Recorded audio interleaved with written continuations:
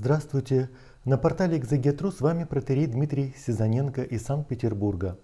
Сегодня мы с вами поговорим о словах Христа, как их передает евангелист Матфей в 16 главе, в 23 стихе. Господь, обратившись к Петру, сказал, «Отойди от меня, сатана, ты мне соблазн, потому что думаешь не о том, что Божие, но что человеческое». То, что более всего нас возмущает, смущает в этих словах, то, что к любимому ученику, к избраннику, апостолу Петру, которому в предыдущих стихах Господь обещал, что Петр станет той самой скалой, на которой будет основана церковь, и врата ада не одолеют эту общину верующих учеников, этот Петр, который первоверховный апостол, вдруг назван здесь словом «сатана». И, конечно, это кажется очень странным. И евангелист, вероятно, это делает для того, чтобы мы более внимательно прочитали весь этот эпизод. Эти слова передают и евангелист Матфей, и евангелист Марк. И контекст примерно одинаковый. В Евангелии от Матфея этот эпизод немножко более подробно представлен. Христос совершает свое паломничество в Иерусалим – и он готовит своих учеников к тому, что их ожидает. И он задает вопрос, кто я для вас, предварительно услышав то, что люди говорят о нем. И этот вопрос очень важный. И как ответ на этот вопрос, который никого не оставляет равнодушным и задевает за живое, апостол Петр, как мы знаем, обладающий очень живым характером, очень пламенным характером, он всегда активно реагирует, он вспыльчив, он спонтанно произносит знаменитое исповедание веры. Действие происходит в Кесарии Филипповой. Симон же Петр, отвечая, сказал, «Ты Христос, Сын Бога Живаго». Таким образом, э, Петр произносит торжественное исповедание веры, и, конечно, это очень похоже, как какие-то звуки фанфар, торжественные аккорды, которые сопровождают сам акт воцарения, интронизации царя. Ты, Христос, Сын Бога Живаго. Это очень похоже на цитату псалма, э, который апостол Павел иллюстрирует тайну воскресения. Воскресение – это и есть интронизация Христа и его прославление во славе Отца. Он восходит на небесный трон. И вдруг после этих торжественных слов происходит резкое смена интонации и декораций. Христос использует этот момент для того, чтобы объяснить ученикам то, что будет происходить дальше. О том, что Христос должен будет претерпеть страдания, Он будет предан старейшинами, первосвященниками, книжниками, Он будет убит и в третий день воскреснет.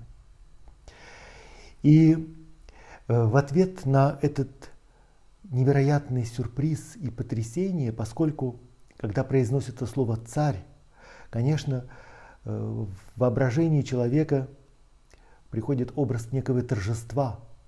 Эти молодые люди, близкие друзья, ученики, сподвижники молодого проповедника, вероятно, займут какие-то почетные места в этом новом царстве. И вдруг та картина, которую изображает Христос, она совершенно не отвечает их фантазиям, их воображению. И поэтому апостол Петр в ответ отзывает Господа в сторону для того, чтобы высказать протест.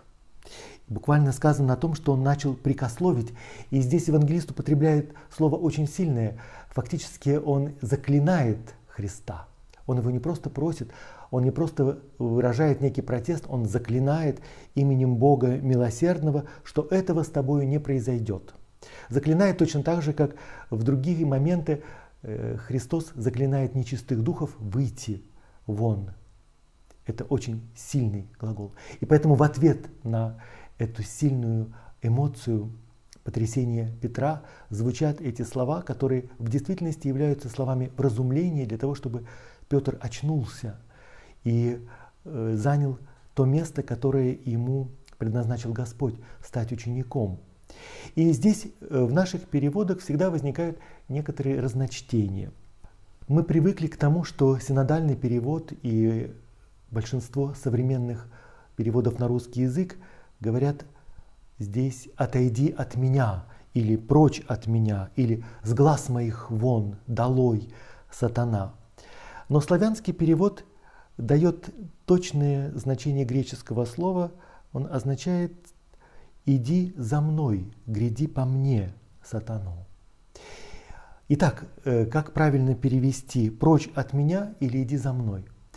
Э, и то, и другое возможно, но э, важно, как понимать эти слова. Христос произносит слова вразумления не для того, чтобы отвергнуть апостола Петра, не для того, чтобы ему сказать, что то назначение, которое ты только что получил в ответ на твое исповедание, потому что Христос перед этим ему говорит, «Блажен ты, Симон, сын Ионин, потому что не плоть и кровь открыли тебе, но это Отец мой, сущий на небесах. Я, я тебе говорю, потому ты, Петр, и на семь камне, на семь скале я создам церковь и так далее. Э, по-человечески мы бы ожидали, что такое непонимание, которое возникает между учеником и учителем, чревато тем, что ученик будет понижен в звании – но в действительности все наоборот. Просто ученику нужно занять свое подлинное место. Ученик всегда идет за учителем, а не впереди его и не может указывать своему учителю ту дорогу, которую ему надлежит избрать.